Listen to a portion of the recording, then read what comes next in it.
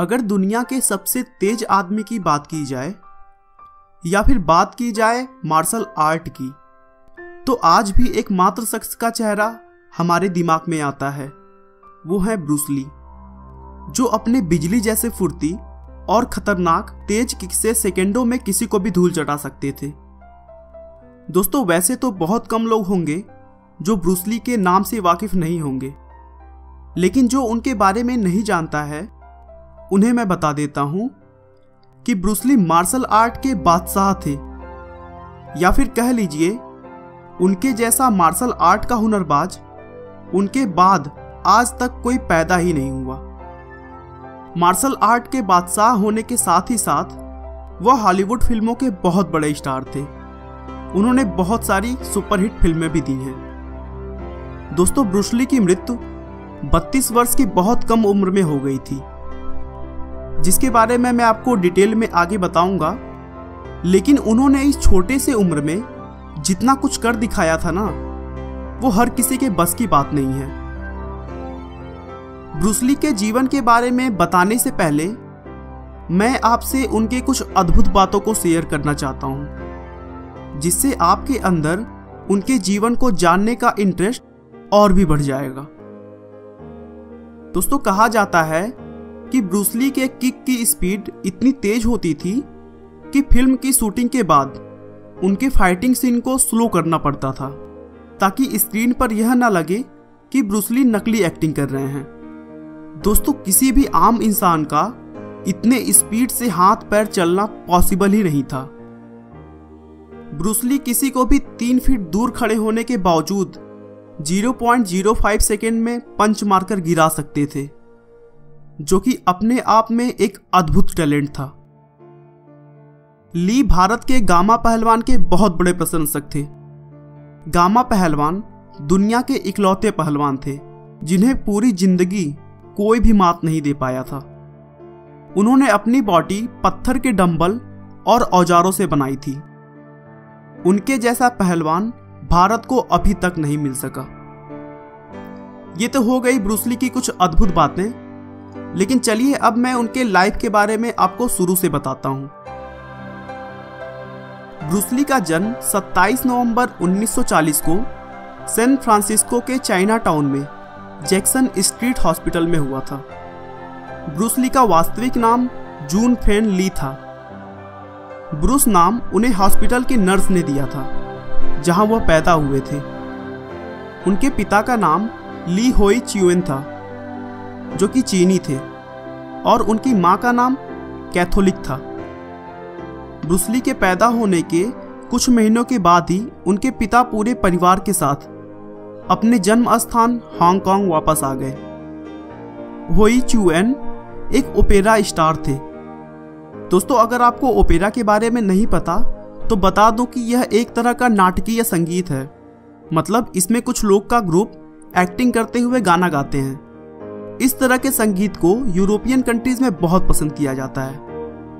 उनके पिता के ओपेरा स्टार होने की वजह से तीन महीने की आयु में ही ब्रूसली को गोल्डन गेट गर्ल नाम के एक फ़िल्म में एक बच्ची का किरदार मिला और उनका फिल्मी सफ़र मात्र तीन महीने के छोटी सी उम्र से स्टार्ट हो गया।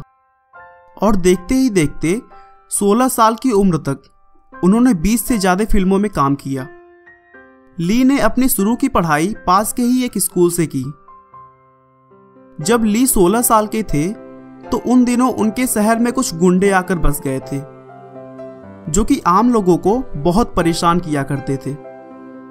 इसीलिए वह अपनी और अपने परिवार की सुरक्षा के लिए 16 साल की उम्र में मार्शल आर्ट का हुनर सीखना शुरू कर दिया। उन्होंने यिप मैन से ट्रेनिंग ली, जो कि एक माने जाने ट्रेनर थे। जिन्होंने ली को विंग चुंग नाम के मार्शल आर्ट का अद्भुत तकनीक सिखाया। मार्शल आर्ट के नॉलेज होने के बाद ली को गुंडों से लड़ने का शौक सा हो गया था, जिसकी वजह से उनके पिता बहुत परेशान रहते थे और ना चाहते हुए भी उन्होंने ब्रूसली को अमेरिका भेज दिया। वहाँ जाकर अपने खर्चों के लिए ब्रूसली ने लोगों को गार्डन में मार्शल आर्ट सिखाना शुरू किया। और 20 साल की उम्र में कुछ पैसे जुटाकर यूनिवर्सिटी ऑफ़ वाशिंगटन में एडमिशन ले लिया। और वहाँ भी उन्होंने स्टूडेंट्स को मार्शल आर्ट की ट्रेनिंग देनी शुरू कर दी। इसी बीच उनकी मुलाकात लिंडा एमरी से हुई और उन्होंने लिंडा को अपना दिल दे बैठा और अगस्त 1964 में शादी कर ली। ब्रूसली और लिंडा के दो बच्चे हुए। ब्रैंडन ली और शैनन ली। बड़े होकर ब्रैंडन, जो कि अपने पिता की तरह एक एक्टर बने।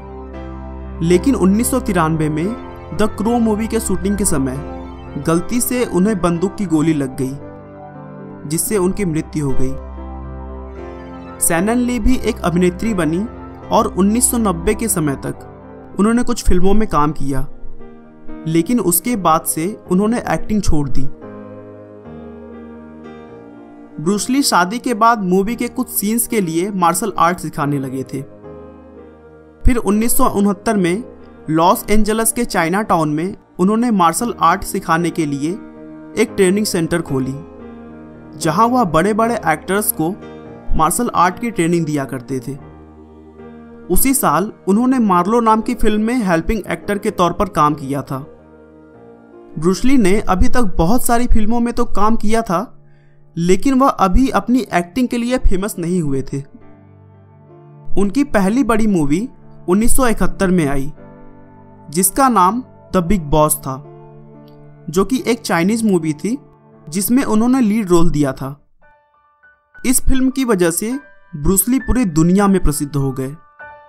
उसके बाद देखते ही देखते एक्टिंग की दुनिया में उन्होंने बड़ी सफलता हासिल कर ली। और Fist of Fury Way of Dragon जैसी सुपरहिट फ़िल्में दी ब्रूसली एक अच्छे आर्टिस्ट और पोएट भी थे। उन्हें किताब पढ़ने का बहुत शौक था। इतनी सफलता के बाद किसी इंसान की ज़िंदगी में अफवाहें ना आए, ऐसा तो पॉसिबल ही नहीं है। लोग कहते हैं कि बुलंदी पर पहुँचने के बाद उन्हें नशीली दवाओं के सेवन का शौक पैदा हो गया था। वह अपने आप को मार्शल आर्ट का संपूर्ण गुरु बनाने की शनक में ज़रूरत से ज़्यादा अभ्यास करना शुरू कर दिया, जिससे उनकी दिमाग की नसें कमज़ोर पड़ गई थीं। 20 जुलाई 1973 की शाम ब्रूसली के सिर में हल्का सा दर्द हुआ। उन्होंने दर्द की दवा ली और थोड़े ही देर में वह बेहोश हो गए। वहाँ से तुरंत उन्हें अस्पताल ले जाया गया, लेकिन उनकी बेहोशी फिर कभी नहीं टूटी। और यह मार्शल आर्ट का बादशाह 32 साल की कम उम्र में ही इस दुनिया को अलविदा कह गया।